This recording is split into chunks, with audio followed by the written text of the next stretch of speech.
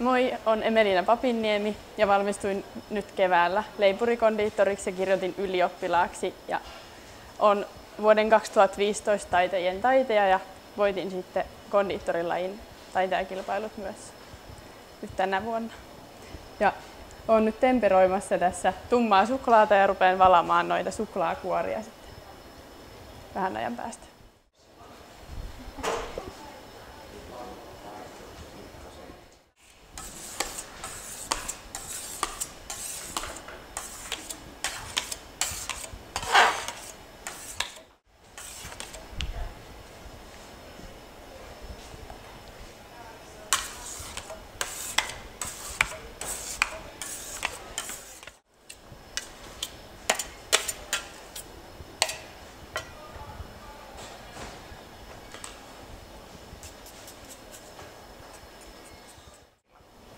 Lämpötila on nyt 28 ja se pitäisi saada laskemaan 27. Se alkaa kristallisoitua sen jälkeen, kun se on sekoitettu tuohon lämpimämpään suklaaseen, niin se kristallisoituu parhaiten, kun se käyttölämpötila on se 20, ei, 31 astetta. Se jämähtää ja siitä tulee kiiltävämpää sitten.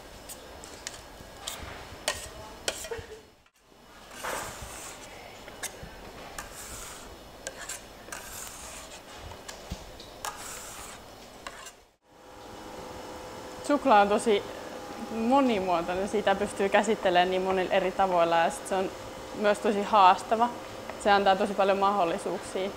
Siitä pystyy tekemään niin paljon kaikkia eri koristeita ja sitten tietysti se on myös tosi hyvä makuinen.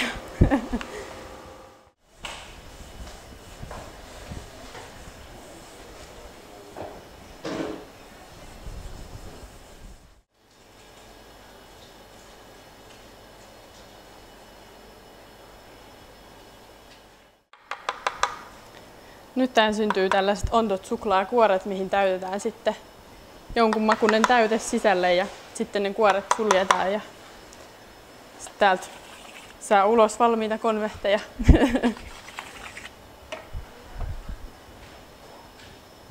Niistä yritetään saada tässä vaiheessa mahdollisimman ohuet, että sinne saa runsaasti sitä täytettä sisälle ja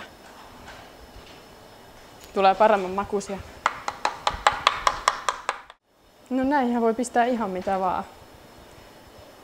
Mut tumman suklaan kanssa jotain voimakasta ehkä. Kun tää on kuitenkin voimakas suklaa ja Jaa, no varmaan suklaakonvehtei. Niihin on nyt tullut sellainen innostus, kun ne oli tämän vuoden kisoissa nyt. Niin siinäkin on niin paljon vaihtoehtoja, että mitä sinne voi laittaa sisälle ja miten sen koristelee ja niitäkin voi maalata niin monilla eri tavoilla, että aina voi keksiä jotain uutta. Ne alkaa kristallisoitua pikkuhiljaa. Ne muuttuu sellaisiksi koviksi ja sitten pystyy täyttämään, kun se on kovettunut. Sitten kun se on täytetty ja se pohja valettu umpeen, niin se vaan kopautetaan tälleen ympäri ne irtoa sieltä, jos se on hyvin temperoitunut. Sitten jos se ei ole, niin ne jää sinne kiinni. Ei näin hirveän pitkään ehkä. Tai no siis siinä on niin moni, monta eri työvaihetta kuitenkin, kun on valaminen ja täyttäminen ja sen kannattaa sen täytteenkin antaa vähän aikaa jämähtää, kun se sitten vajautuu kuitenkin. Niin ihan. Niin, no kyllä siinä loppujen lopuksi aika pitkään menee, jos sen tekee hyvin.